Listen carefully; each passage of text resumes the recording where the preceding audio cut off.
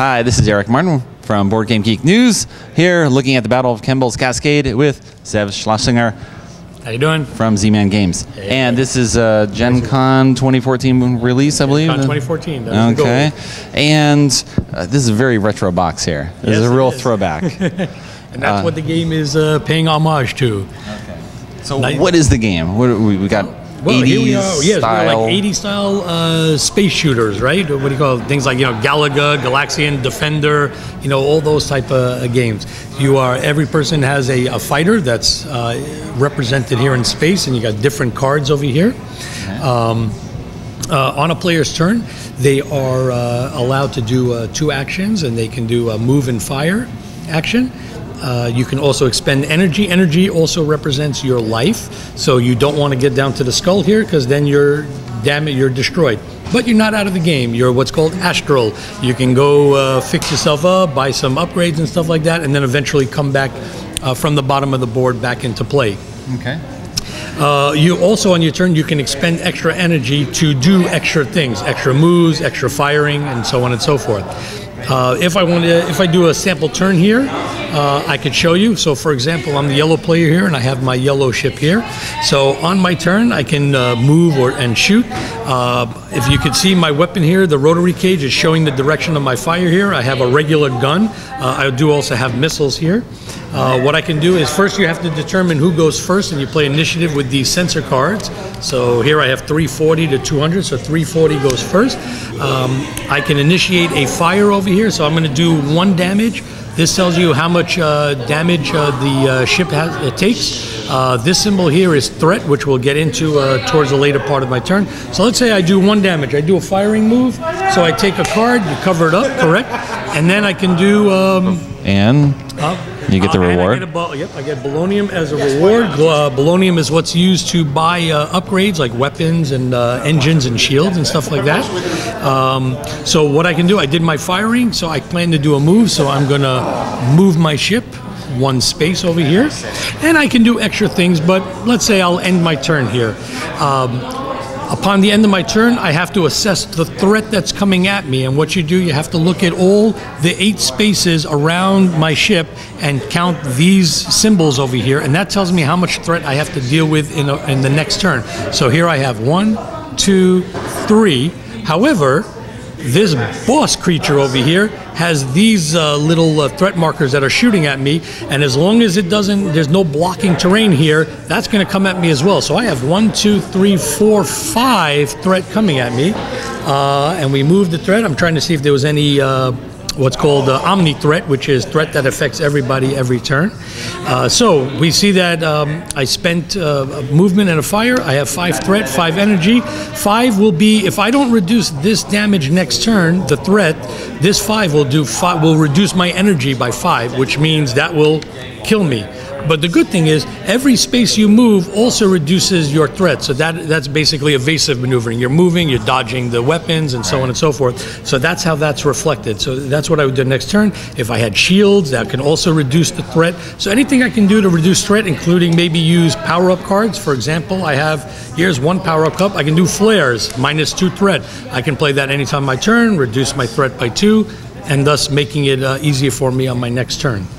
There's also other upgrades as well that you can add with shields. So, for example, here's an engine one, and it cost me four bolonium, which I had to buy. But I can pay uh, three bolonium and go to up to engine two and get two extra movement.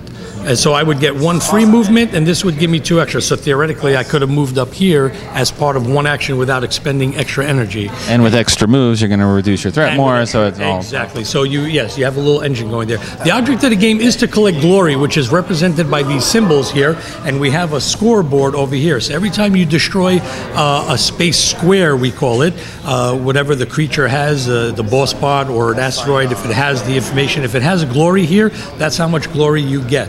Um, also, I had mentioned that if you get to uh, the skull part, uh, your ship is destroyed. All other players that are still on the table will be able to gain glory because you died and they did not.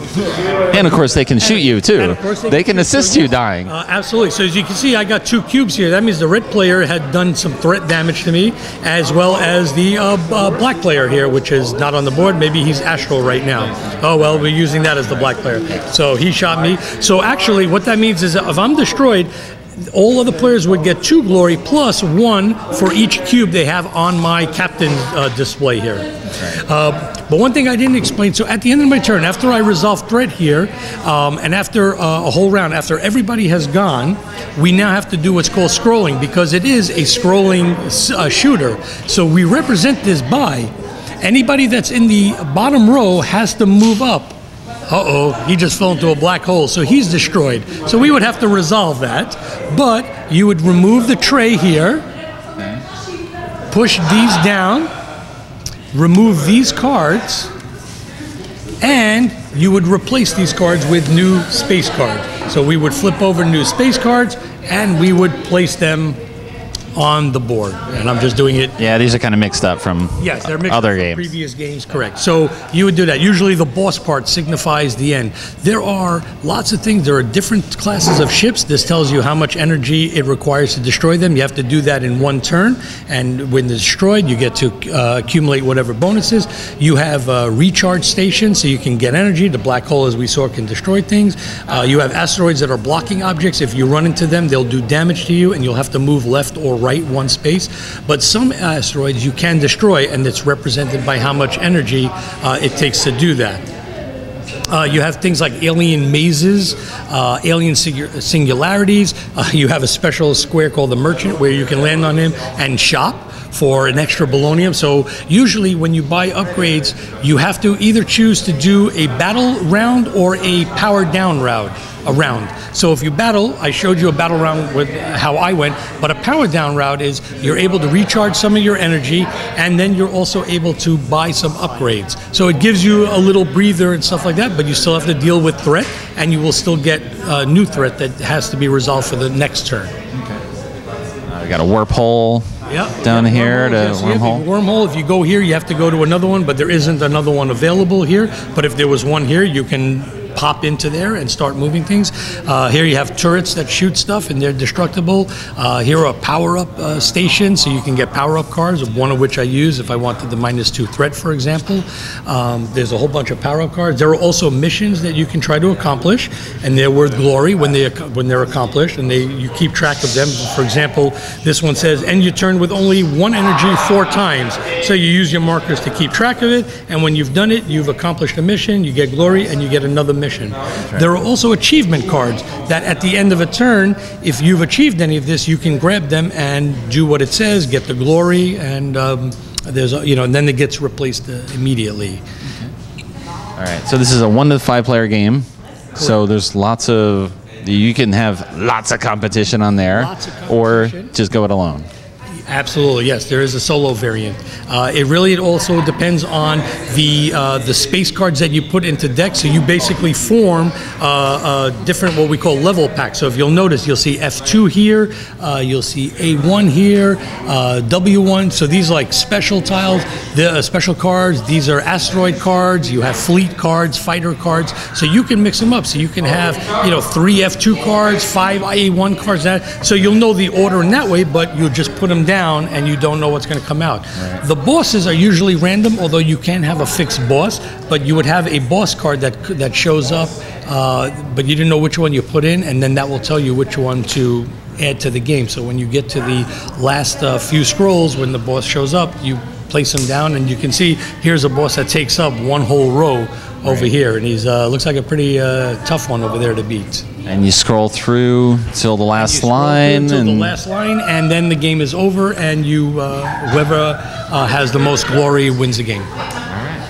thanks very much. Anything else? There's a lot of stuff. That I don't know. a lot of stuff. Yes, I don't want to go. I, I guess there are too much details, but I believe that's the, the gist of the game. It's uh, shoot, get bolonium, buy cool stuff, beat the boss, gets lots of glory, and win. All right. Thanks for the review. You got it.